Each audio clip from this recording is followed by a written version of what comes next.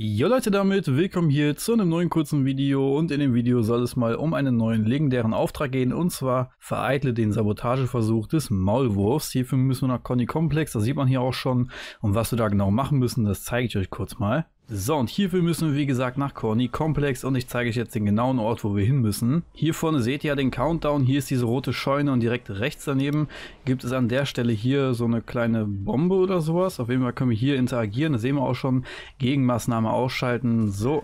Und das machen wir einmal und dann ist die Aufgabe auch schon fertig und hier sind noch ein paar Leute. Ich zeige es nochmal schnell auf der Karte und zwar ganz genau hier an der Stelle, da müssen wir kurz interagieren.